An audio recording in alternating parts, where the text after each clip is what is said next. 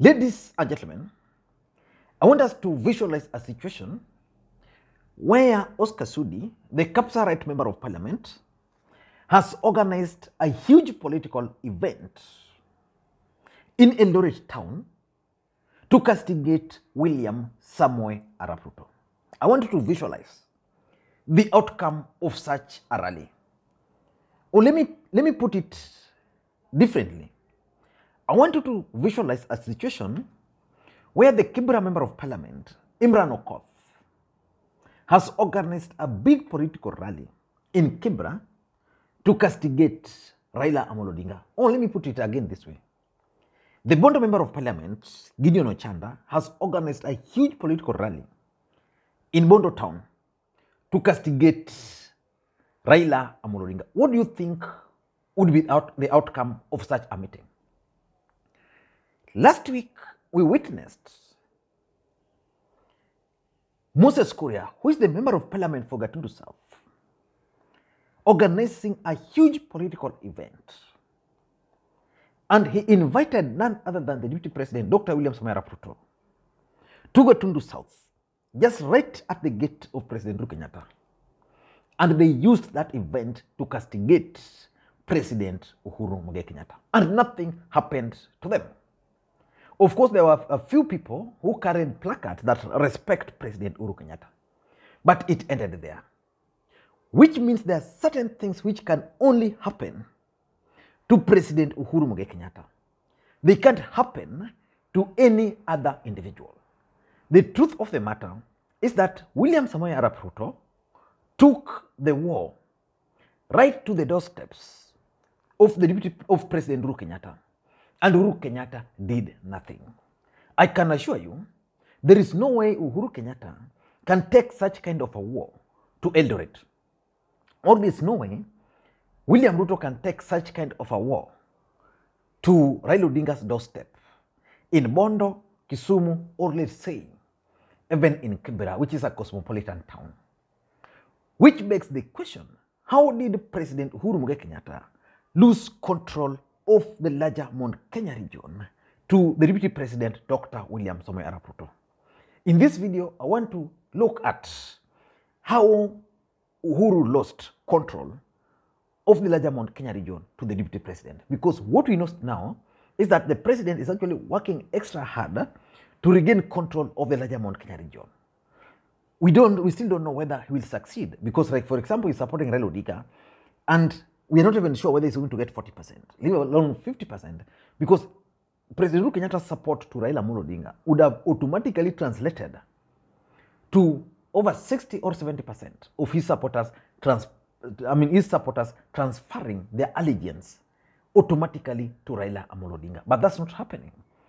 Why, why do you think Uhuru lost control of the larger Kenya region to his deputy? Before we get into all those details, if you're watching this channel for the first time, I want you to take a second or two, click that subscribe button so that next time we produce a video like this, YouTube will automatically notify you. And to the subscribers, I want to continue thank you guys for your continued support. Without the support, this channel cannot be where it is. Please, I'm in Mombasa, I'll be going back to Kisumu tomorrow, so I want you guys to show me love just by giving this video thumbs up and dropping your comments. And the best again is to share the video. I want to try to be a bit brief because I'm expecting a friend who is coming where I am.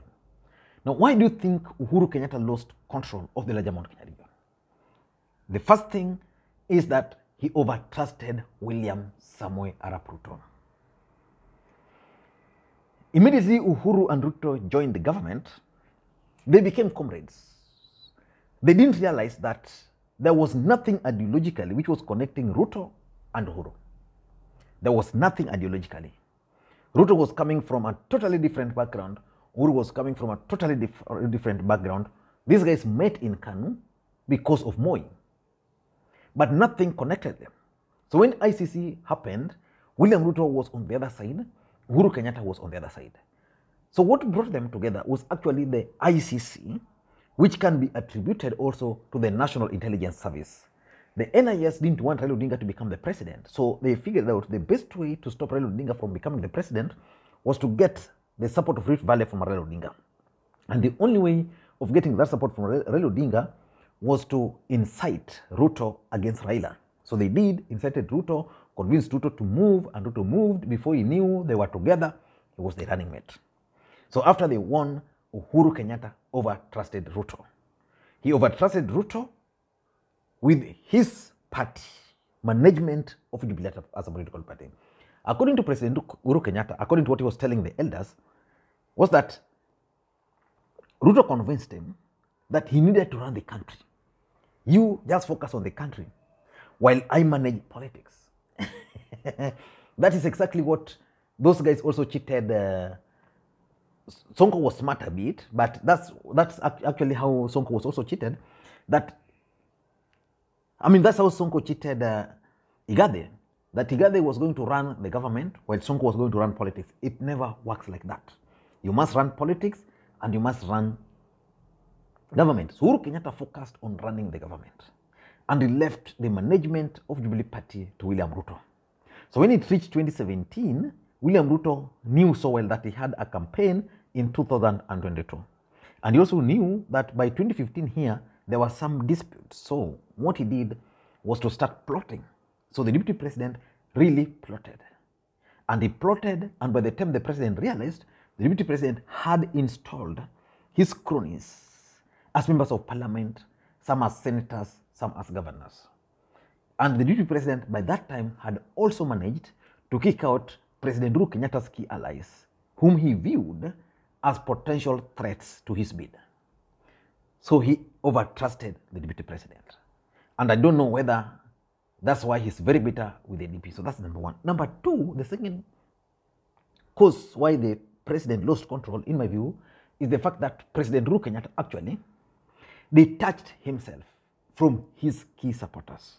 You know, our politics is tribal, and apart from tribal, it has bases. For example, Raila Odinga had his base in Nyanza, in Nairobi. Raila Odinga had strong base in Western, and he also had a very strong base in uh, the coastal region. Those are the truths. President Uhuru Kenyatta had his strong base, his stronghold, which was in the mountain. Ruto brought the Uhuru had mountain, Ruto brought the Rift Valley. So the moment William Ruto took control of uh, the mountain, it means Uhuru Kenyatta now then was left empty. He didn't have any strong ground. So the other mistake he did was that instead of now focusing on uh, his people, Uhuru Kenyatta forgot and started working that he was working. You can't work for the people when you don't understand their politics. So he detached himself. So a lot of things were happening. People were complaining about high cost of living. People were complaining about their businesses being destroyed. People were complaining about SGR. The Kikuyu nation, who are majority in business in, in the in the in uh, industrial area, were complaining. Uhuru never listened to them. Uhuru Kenyatta focused on delivery to an extent that so many people actually displaced to pave way for development project without considering that these guys actually voted for President Uhuru Kenyatta. So by the time President Uhuru Kenyatta was now coming back, it was late. The deputy president had gone. He, had made the president to appear as if he was uh, the bad one. Then he had taken credit, credit, I mean credit as if the deputy president was the best thing to ever happen. So Uhuru Kenyatta ought not to have forgotten that number one, the people who voted for him were Kikuyus. Number two, the people who voted for him were in Jubilee. And therefore, the people he needed most, the people he needed their support most, were actually the Kikuyu nation and Jubilee, not to detach himself from them. So that's number two. The third cause why Uhuru lost control, in my view, is that apart from overtrusting the deputy president, President Uhuru Kenyatta underrated William Ruto. You know, William Ruto was scheming. Uhuru Kenyatta thought that they had won the government. He was going to ensure that after his term, the deputy president was going to take over. The deputy president had a different idea that in politics, there is no trust. There is no, the only interesting, I mean, the, the only common thing is interest and betrayal. So he was prepared for the betrayal. So the deputy president started scheming on how to consolidate the mountain without the support of the president. And that's how, in the last five years, he managed. And I want to ask you a question. How many times do you think the deputy president has gone to the people of the larger Mount Kenya region after they voted for him? Zero. The truth of the matter is that the moment these guys voted for Uhuru Kenyatta, the moment Uhuru Kenyatta was sworn in, that's the moment Uhuru Kenyatta disappeared. He would only attend funerals, and Uhuru Kenyatta would only give some roadside declarations or maybe lecture some leaders from the region. He failed to understand that the deputy president was reading him.